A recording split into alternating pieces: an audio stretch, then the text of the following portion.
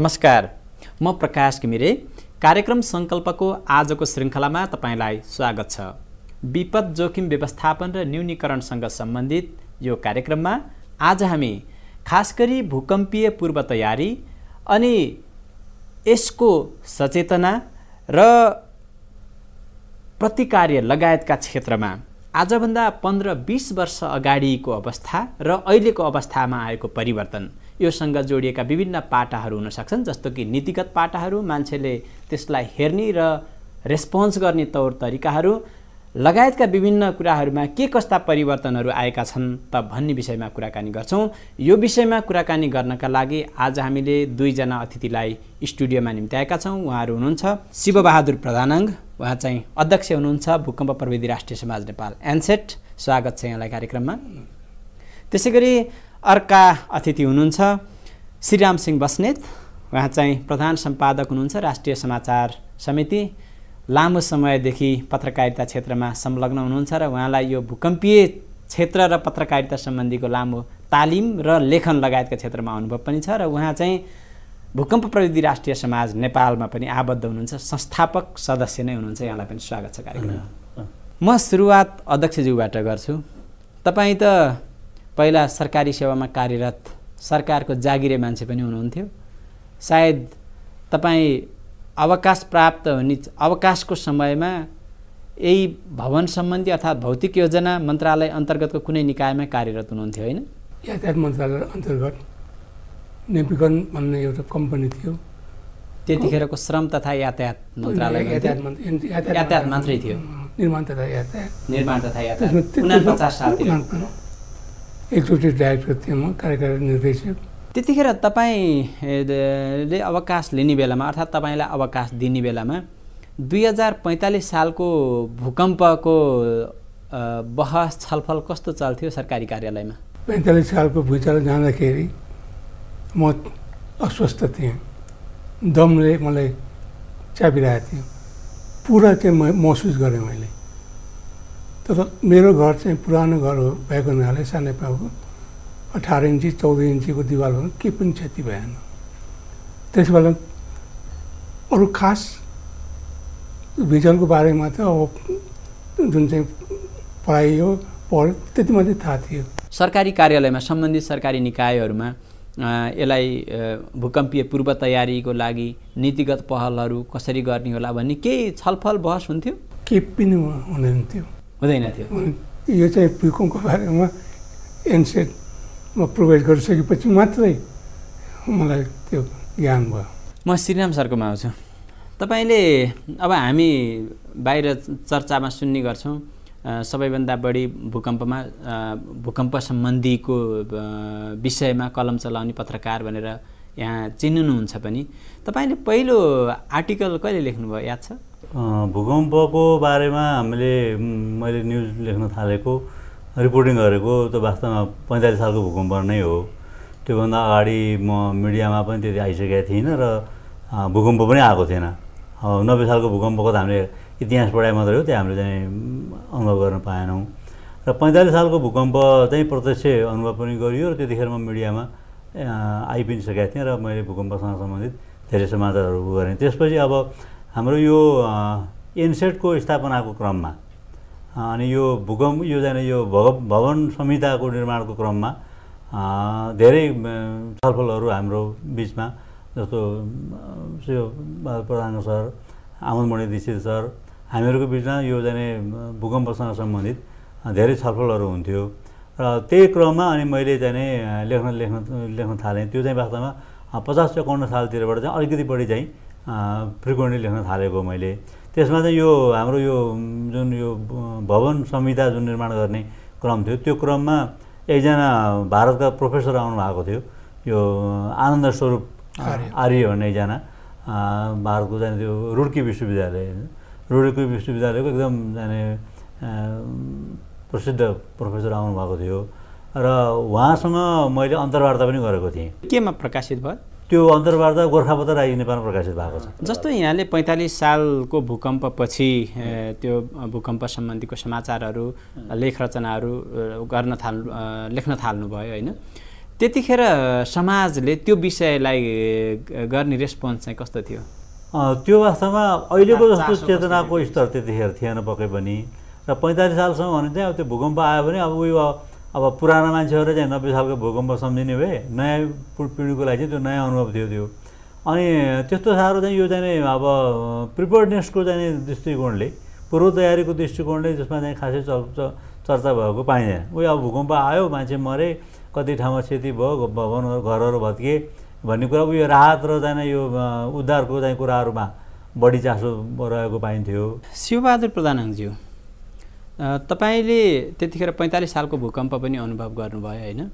र तपाईँ उन्नाइस सय त्रियानब्बे सालमा स्थापना भएको भूकम्प प्रविधि राष्ट्रिय समाज नेपालको संस्थापक अध्यक्ष बन्नुभयो होइन त? के उद्देश्यले तपाईँ त्यसको अध्यक्ष बन्नुभएको थियो? मलाई चाहिँ अफर गरियो। संस्था खोलिँदैछ तपाईँ यसको अध्यक्ष बनिदिनु पऱ्यो भनेर। त्यो मैले भनिदिएँ यो विषयमा मलाई थाहा छैन। तर मेरो आवश्यकता छ भने म बन्न तयार छु। त्यस बेलासम्म मेरो यो विषयमा सुन्ने जति थियो मेरो ज्ञान पटक्कै थिएन। सरलाई किन अध्यक्ष बनायौँ त भन्दाखेरि चाहिँ अब यस्तो खालको अलिकति नौलो खालको काम यो। त्यतिखेर यो भूकम्पको विषयलाई लिएर एउटा चाहिँ संस्था गठन गर्ने भनेको नितान्त नौलो कुरो थियो। अनि नौलो कुरोलाई चाहिँ अलिकति इन्करेज गर्ने खालको मान्छे को होला भन्ने पनि हाम्रो एउटा चाहिँ खोजी थियो।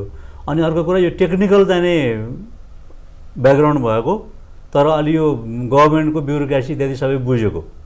त्यस्तो मान्छे भयो भने चाहिँ हामीलाई काम गर्न अगाडि बढाउन सजिलो हुन्छ भन्ने भने अर्को त्योभन्दा पनि माथिल्लो कुरा चाहिँ के थियो भने त्यतिखेरको अवस्थामा स्वच्छ छवि भएको। कुनै चाहिँ विवादमा नआएको।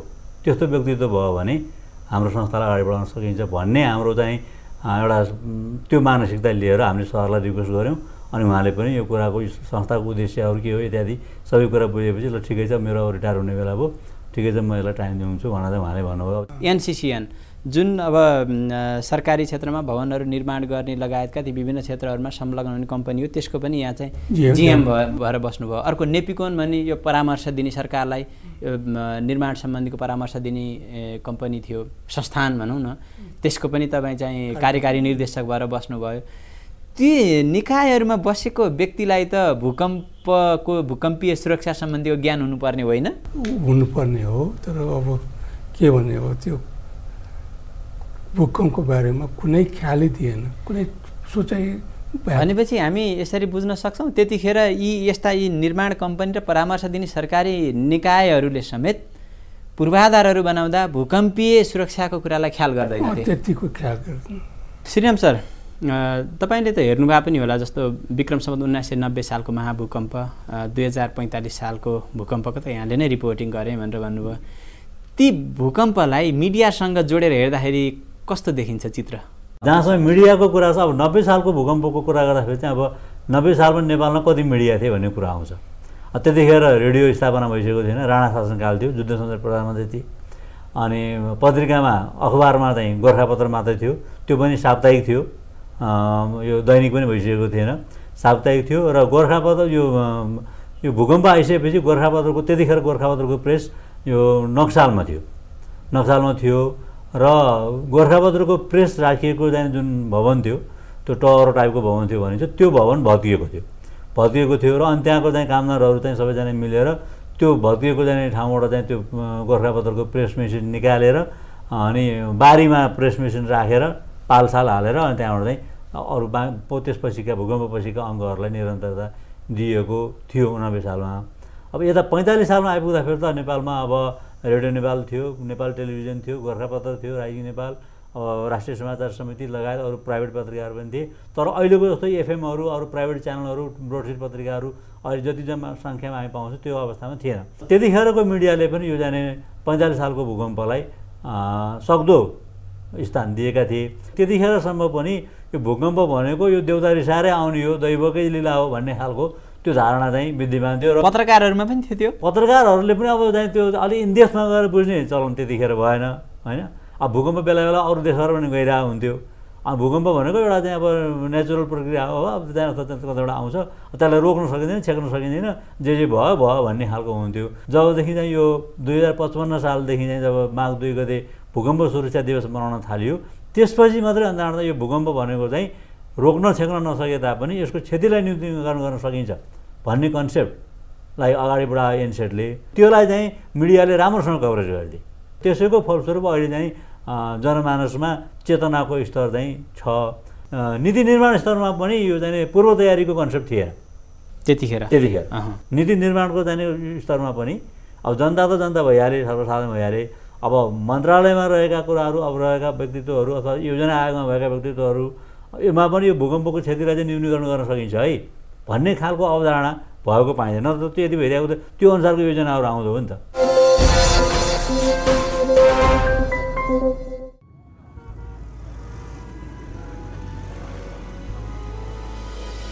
त यसरी भुइँचालोबाट बस्नका लागि यस्ता अग्ला दराजहरूलाई भित्तामा यसरी अड्काउनु पर्छ नआत्तिउ नानी हो। होइन आत्तिनुहुन्न सबैजना घुँडा टेकी ओत्ला ग। होइन झप त्यो ठाउँ सुरक्षित छैन। आफ्नो डेस्क मुनि गएर ओत्ला ग। छिटो। मद्दत चाहिएमा सिटीको प्रयोग गर्नु।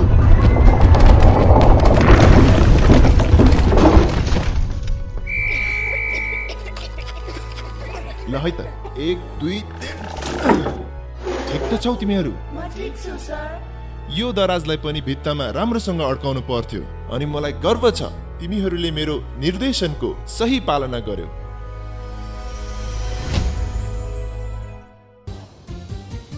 गत चौध वर्षको नेपाली पत्रकारितामा एउटा ट्रेन्ड सेटर बनेकोमा गर्व गर्छ हिमाल। यद्यपि देश काल र परिस्थितिको यथार्थ चित्रण तथा सही विश्लेषणमा हामीले अझ धेरै सिक्नु छ र अझ धेरै काम गर्नु छ। नयाँ नेपालको नयाँ हिमाल। नयाँ खबर। हिमाल खबर पत्रिका। हरेक आइतबार।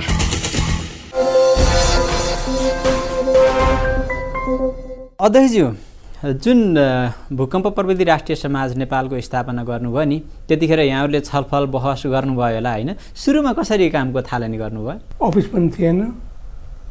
मलाई सम्झना छ अहिलेको त्यो कार्यकारी निर्देशक अफिस चाहिँ ब्रिफ केसमा थियो। पहिलो मिटिङ मेरो सचिवको कार्यालयमा भएको थियो। यो एनसेटको फर्स्ट बोर्ड मिटिङ मेरो कार्यालयमा भएको थियो। त्यसको म्यानेज पनि जोगाएर राखेको तर एउटा के छ भने हामी सबैले महसुस गरेँ यो चाहिँ यस्तो विषय हो यो।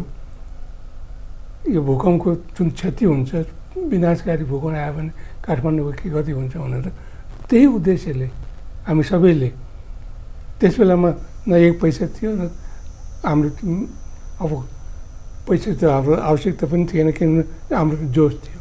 अन्त काम गर्न सुरु गरेँ।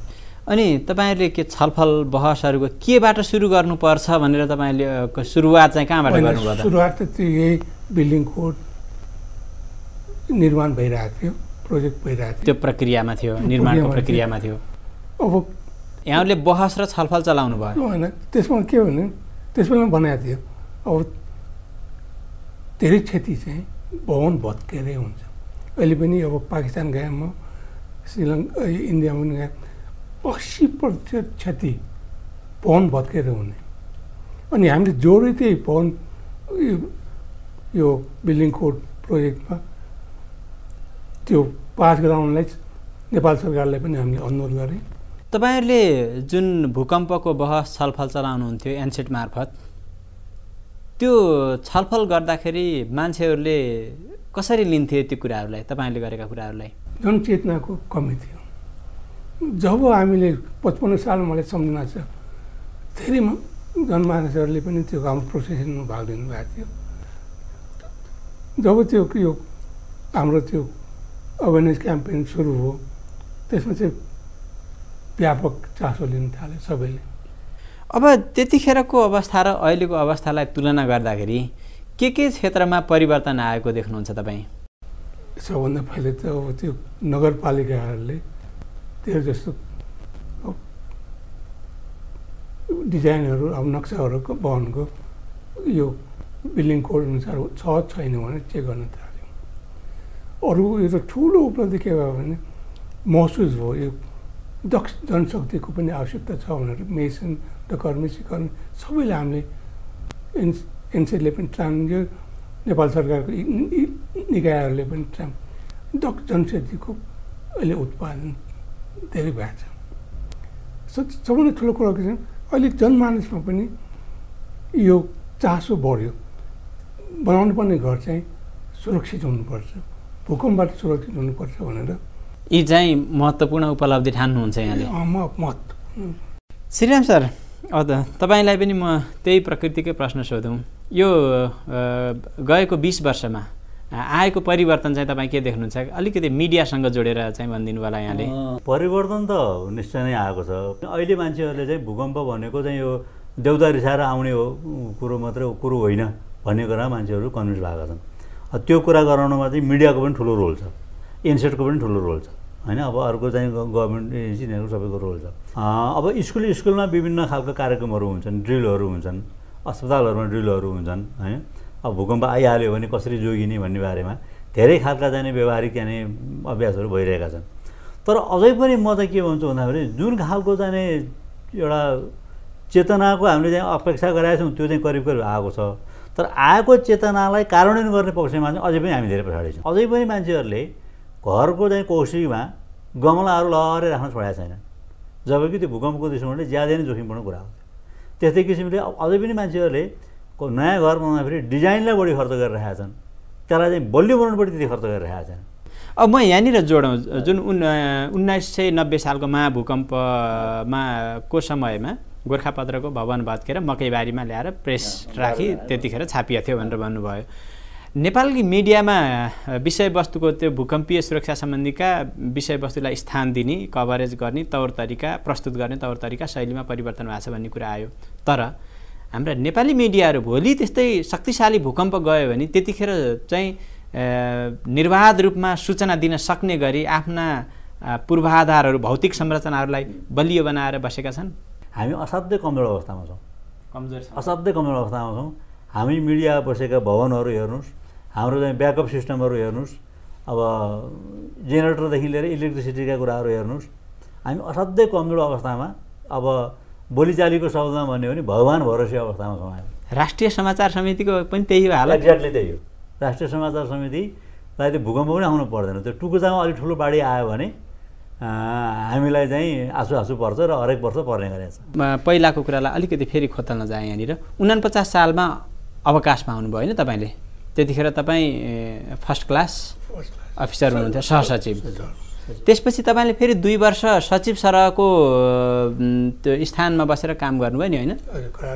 करार सेवामा काम गर्नुभयो है? भूकम्पीय जोखिम अर्थात् अनि जुन भूकम्पीय सुरक्षाको बारेमा जानकारी लिएको पनि त्यही बेला भन्नुभयो होइन यहाँले? एनसेट बनाउने अवधारणा पनि त्यतिखेरै आयो। त्यतिखेरै त्यो जानकारी लिएँ भनेर भन्नुभयो होइन तपाईँले? त्यहाँबाट सुरु गर्नुभएको करारमा सचिव भएर काम गर्दाखेरि एनसेट भन्ने संस्था जन्माउनु भएको।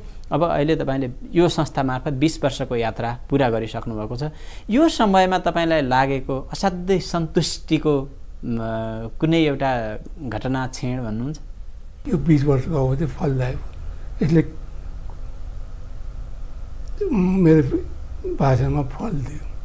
जुन उद्देश्यले स्थापना भएको संस्था हो उद्देश्य पूर्ति गर्ने बाटोमा लागिरहेछ। फल दिने बोट तयार भयो। तयार भयो। फल दिइरहेछ अब। दिइरहेछ। अनि हामीले भने ट्वेन्टी ट्वेन्टीमा सन् बिस ट्वेन्टी ट्वेन्टीमा नेपाल चाहिँ भूकम्पबाट सुरक्षित देश बनाउने भनेर हामीले हाम्रो त्यो भिजन त्यस्तै बनाएको थियौँ। अब मिसिन पनि स्टेट पनि त्यस्तै हो। त्यो बाटोतिर हामी लागिरहेको यसले मलाई खुद सन्तुष्टि त्यसमा मैले मेरो पनि अलि योगदान पुगेको भएकोले मलाई म चाहिँ सेटिस्फाइड छु। कहिलेसम्म लाग्नुहुन्छ त यसमा? अब पचहत्तर वर्ष पुऱ्याउनु सक्यो अब दुई तिन वर्ष टर्म बाँकी छ त्यसपछि के हुन्छ मलाई थाहा छैन। के भइदियोस् भन्ने यहाँको अपेक्षा छ यो भूकम्पीय सुरक्षा भूकम्पीय पूर्व तयारीको क्षेत्रमा? यो के छ भने अब यो ठुलो खुसीको कुरा के छ भने तपाईँले भन्नु भने सबैले अब नेपाल सरकार विदेशी सङ्घ संस्थाहरूले यसमा चाहिँ रुचि लिएर सहयोग गरिरहेछ। म पुरा विश्वास गर्छु। नेक काम गर्ने कतिलो काम गर्नलाई साधनको स्रोतको कमी हुँदैन।